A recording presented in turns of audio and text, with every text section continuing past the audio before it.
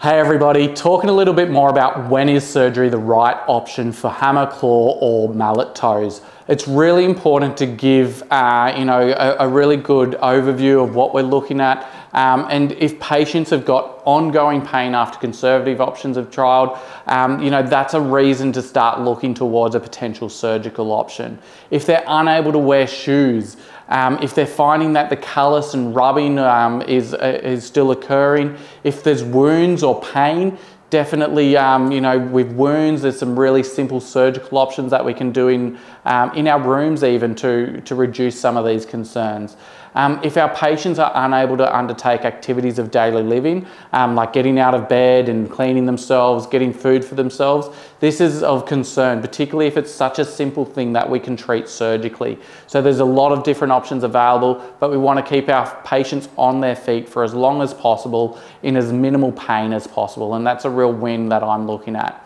If patients are noticing that there's increase in deformity um, or there's, you know, their, pay, their, their toes have gone from really reducible and mobile, flexible, and they're now becoming rigid, they're the type of patients that we like to see sooner because we can put more conservative surgical options into place or less invasive options, which means that their recovery is going to be quicker, their pain during that recovery is going to be less, and it's more likely that we're going to get a better outcome in the long term as well. Now, for patients that do have some of the comorbidities or other conditions, including diabetes mellitus, peripheral vascular disease, or peripheral neuropathy, they're definitely patients that we want to be treating proactively. And what I mean with this is because we're really wanting to prevent any concerns with wounds um, that could be occurring from corns or just um, areas of pressure. And so, you know, we want to make sure that we're proactively treating this so that patients don't go on to develop wounds that become infected and otherwise might need an amputation.